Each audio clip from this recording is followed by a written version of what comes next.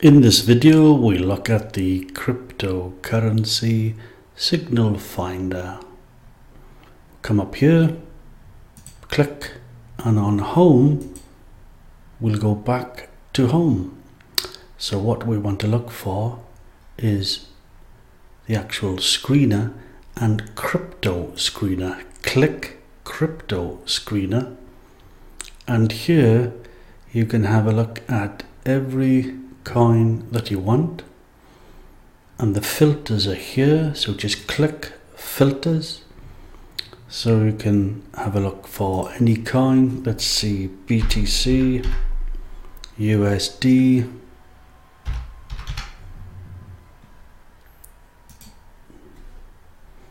so we're going to have a look at that. Exchange. What exchange do you want? Bitfinex Binance, Bitstamp, Bittrex, anything you want. You can have a look at if it's below or equal a certain level, the value. You can have a look at the lows below or equal, the rating, strong buy. So we'll put in strong buy.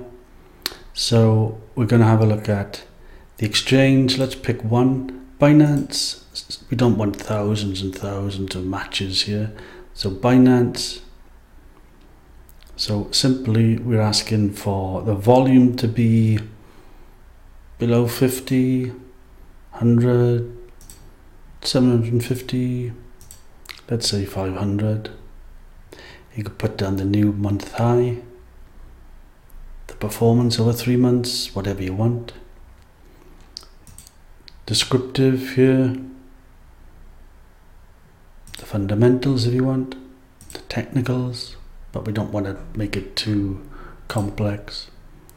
So we're going to have a look at these four here. So we see that there's a change, iota F, this one here, here and here, so it's a strong buy signal on Binance. So that's one way you can use this screener. There are many, many others as well. You can have a look at the one day, the five minute, the one hour, one week. You can have a look at the top gainers.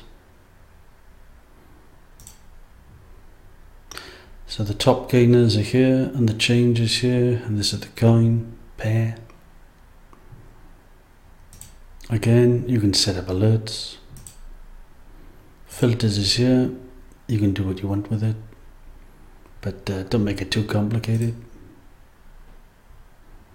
The overview, the performance, the oscillators, trend following. You can save the columns. Auto refresh.